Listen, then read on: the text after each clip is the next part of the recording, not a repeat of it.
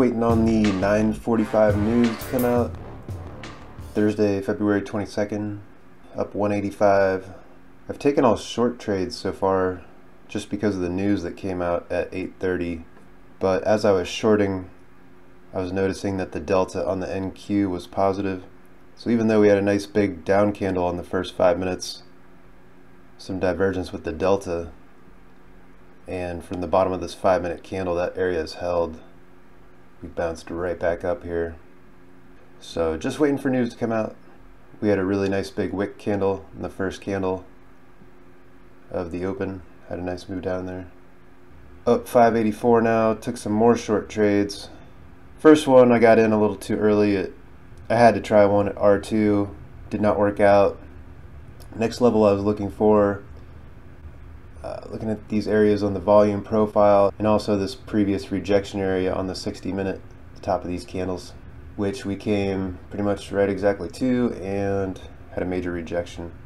The delta divergence from earlier this morning definitely played out. All this positive delta coming in. The news at 9:45 was a mixed bag. Got in another short pretty much the top there.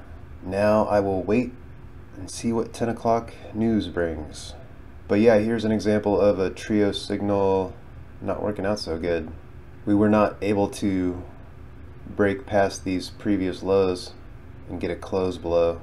Just little tiny pokes here. Had a nice cosmic signal here, little green triangle from the cosmic indicator. Had a nice close above the 20 SMA here. Looking at this previous high back here, we broke out of there.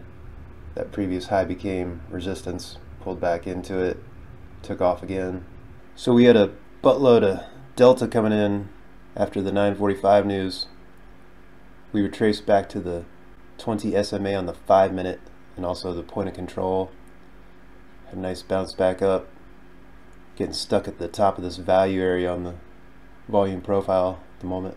Check out where the market pulled back to exactly to the center of the opening 15 minute range. This orange dotted line here. Great level that I'm always paying attention to. Bounced up 50 points from there. I've got, this is a one minute chart. This is a one minute chart with the delta on a histogram. Then I kind of zoom in, I can see the price grid down here with the numbers. Same chart setup. Just zoomed in.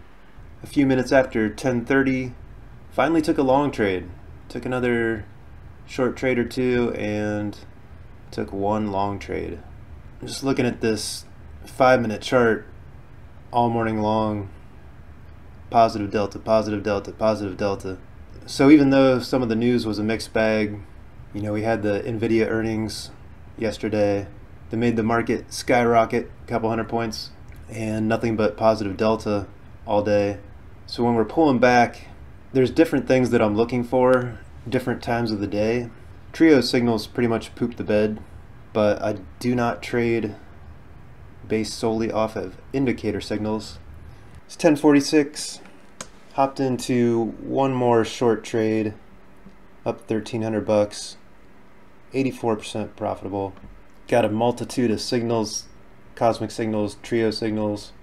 Solar wind is bearish, closing below the 20 SMA coming back into this high volume area on the volume profile and a bunch of delta coming in. Right when I saw this delta over 400 on the NQ one minute, I was perking up for a short. Then we had this trio signal to the downside and a bunch more delta coming in.